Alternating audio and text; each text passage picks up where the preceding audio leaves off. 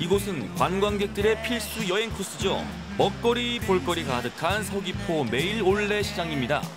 여기 어디 시장 아닌가요 여기? 아 분명 이 근처에 있다고 했는데 아 갤러리가 왜 시장에 있는 거야? 아 맛있겠다. 어 얘들아 얘들아 얘들아.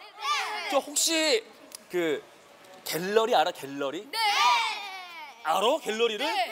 갤러리가 뭐게? 그림을 전시하는 전시하는 곳이에요. 뭐 뭐라 뭐라 뭐라고? 미술 작품을 전시하는 우리 아이들이 곳이에요. 모르는 게 없어요. 알고 있어? 네. 그러면 이 시장에 갤러리가 있다는데 맞아? 네. 어디 있어? 어디 전부 가게밖에 없는데. 저희도 마침 가고 있었는데 같이 가실래요? 어 진짜? 네. 어디 있어? 가자 가자 가. 안내해줘. 가자 가자 가자 가자. 와 무슨 시장에 갤러리가 있대. 와. 신기하다 신기하다 신기하다. 네. 와. 친구들이 리드했네요. 아이들을 따라간 곳은 어느 치과 건물. 외벽엔 전시 현수막만 걸려 있었는데요. 대체 갤러리는 어디 있는 걸까요? 그런데 지하에 이런 공간이 있었더라고요. 와 뭐야 뭐야 뭐야 뭐야. 어 여기 어디 여기 어디야 어디 어디. 어 안녕하세요 안녕하세요 안녕하세요. 아이고 정신이 없네 정신이 없네. 아유 아 그럼 혹시 병원에 밑에 있는 거 보니까 아 병원 원장님. 아, 아니, 선생님. 아, 예. 여기 운영하고 있는 고순철 작가입니다. 아, 그분이셨군요. 아니, 이 건물 지하에 이런 곳이 있을 거라고는 전 생각도 못 했습니다. 아, 네.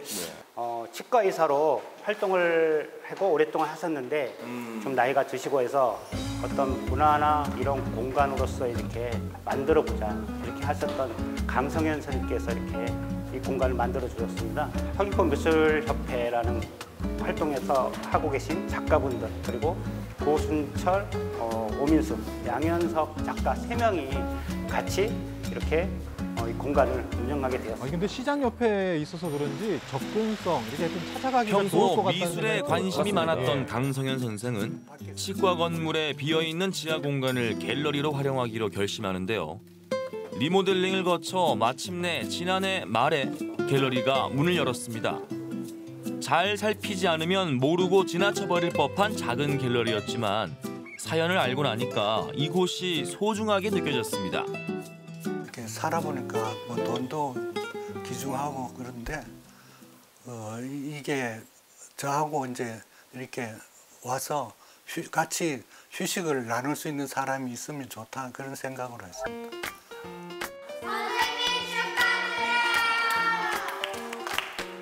아니, 아니, 얘들아. 아니, 이분 누구신데 꽃다발 전달하는 거예요, 지금? 우리 어, 작가 선생님이신가요? 아니, 선생님! 와, 박수! 선생님이시구나. 안녕하세요, 선생님.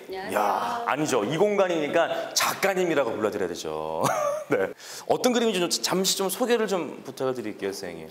수업 시간 애들하고 연꽃 같은 걸 그리면서 어, 꽃에만 너무 제가 생각을 했는데 어느 날 이제 추운 겨울에 봤더니 또 이제 마른 연줄기를 보면서 이게 하나의 기호 같기도 하고 언어 같기도 하면서 어떻게 보면 단순하기도 하고 복잡하기도 하고 그런 그런 것들에서 이제 우리 삶의 어떤 얽히고 복 잡한 이런 부분들과 같이 그걸 작품 이제 풀어내려고 해봤던 그 연작업이 가장 어, 저희가 내착이 가는 작업인 것 같아요.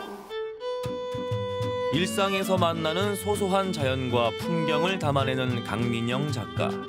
소박하고 일상적인 그림 속에서 의미를 찾는 작업들을 해 나가고 있는데요.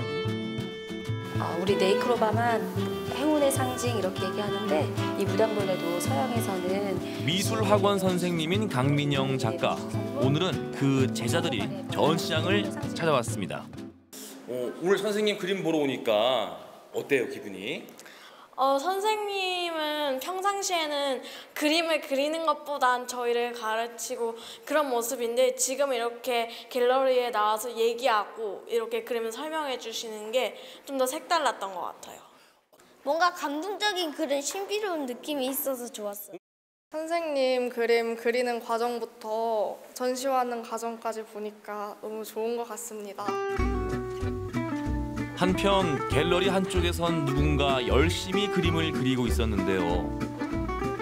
그림 실력이 범상치 않더라고요. 아, 실례합니다. 네.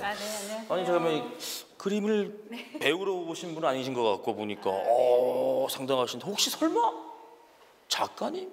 아, 네. 이 그림을 그린 작가입니다. 아이고 제가 몰라 뵀습니다. 아, 경솔했습니다.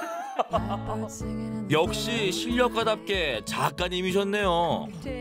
어머, 이, 이게 처음에 전 멀리서 보니까 3D 그림인 줄 알았어요. 와, 아니 꽃인데, 네, 꽃도 있고 뭐 산도 있고 뭔가 자연자연합니다. 어떤 그림인지 소개 좀 부탁드릴게요. 아, 저는 그 제주의 숲과 자연을 그리고 있는데요. 어린 시절에 이제 중산간 지역에서 성장을 했어요. 그래서 그때 보았던 숲의 개인적인 그런 이미지들을 어, 재소환해서 작품에 표현하고 있습니다.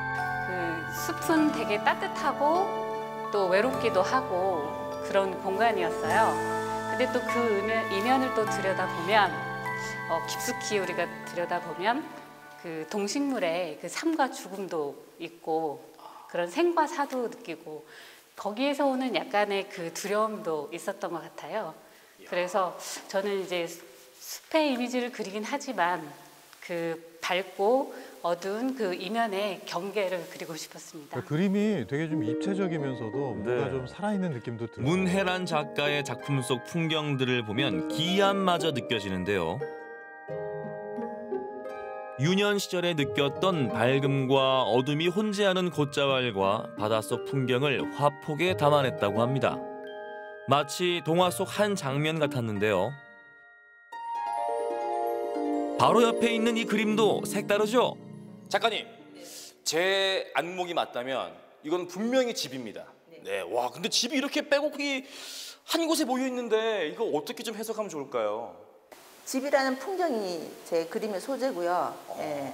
근데 이제 현대적 현대에서 보면 이 집들이 너무나 많이 이제 지어지다 보니까 네. 이제 주변에 새로운 풍경들을 만들어내는 것 같아요. 그래서 이거에 대한 제 개인적인 소유욕이라든지 욕심도 담겨 있고 또 자연에 대한 그런 파괴에 대한 경각심이랄까 그런 것도 한번 생각해 보게 되는 그런 작품이라고 할 수 있죠.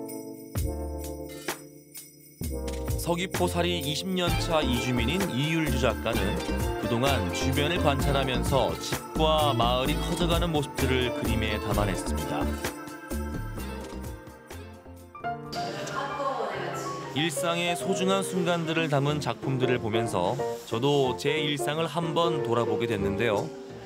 작가님들은 이번 전시가 어땠을까요? 어, 저희 작가로서는 이제 그림을 그려놓고 보여도 주고 싶고 어, 같이 함께 소통도 하고 싶은데 이런 공간이 자꾸 있다 보면 저희도 또 좋은 작품으로 어, 많은 관람객들과 많은 사람들과 소통을 할 수 있지 않을까 싶습니다. 시장 옆에 친근하게 자리한 소통의 공간 갤러리. 서귀포 시민들이 미술에 좀 더 친근하게 다가갈 수 있는 기회의 장이 되길 바라봅니다. 시장 옆 갤러리 전시회 많이 보러오세요.